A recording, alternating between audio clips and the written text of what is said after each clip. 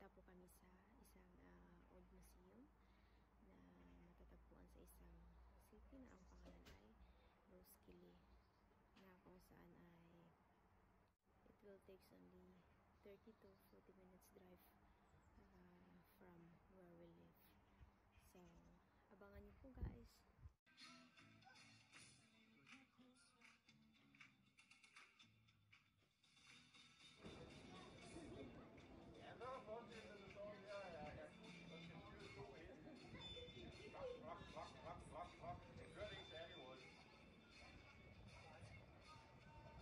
Ah. Er at køre?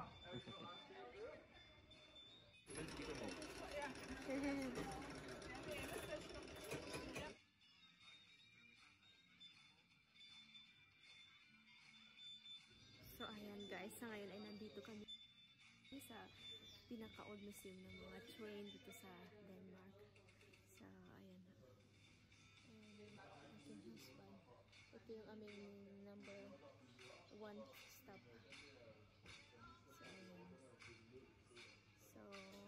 train na to ay naglalaroan mula Denmark hanggang Portugal. Yung last stop. Ah noong unang panahon. Yan yung akyatan. Ito yung kanilang operator area. Ayan. Ayan, napaka-cute ng kanilang tren noong unang panahon. Hindi kalakihan. lumabas ang aking anak tumakbo.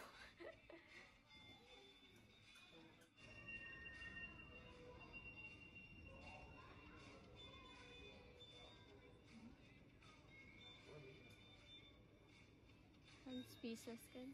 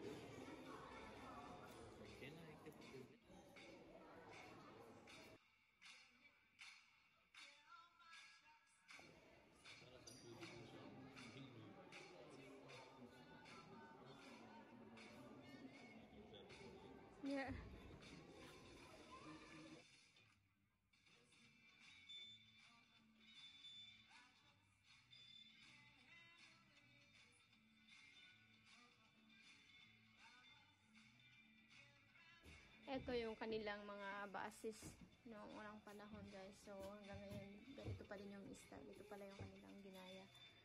Halos eh, walang iniba.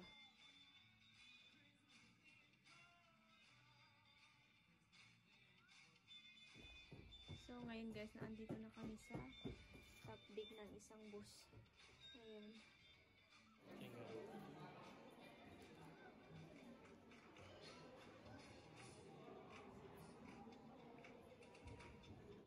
Det er amerikansk, at, men Disney, det, er, det fandtes også dengang, og hvor stort den er også.